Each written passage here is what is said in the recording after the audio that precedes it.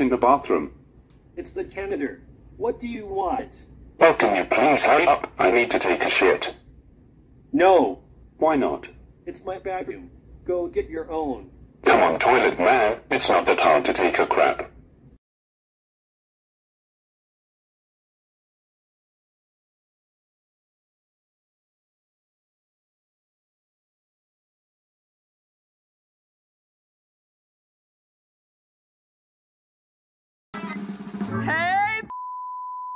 Hi, Dad. Hey! How are you? Oh, where, where, where are you these days? You know where I am, Dad. I've told you before. You have? Oh, yeah. Uh, um, well, you know, I um, uh. I told you when you called me five months ago.